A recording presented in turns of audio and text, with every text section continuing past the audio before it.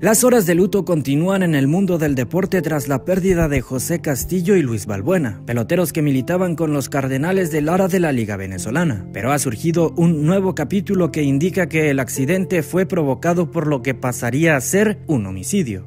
El gobernador del estado de Yaracuy, Julio León Heredia, ha informado que las autoridades detuvieron a cuatro implicados en la muerte de los jugadores, mismos que contaban con algunas de sus pertenencias. El nivel de vinculación de los detenidos con la muerte de los peloteros no se detalla, pero lo que las investigaciones establecen es que el hecho ocurrido en la autopista en horas de la madrugada se debe a un volcamiento del vehículo tras esquivar un objeto en la vía.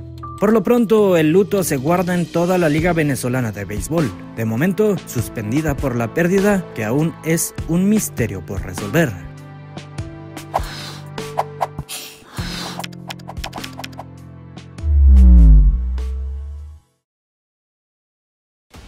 La final más polémica en la historia del fútbol se define en Telemundo.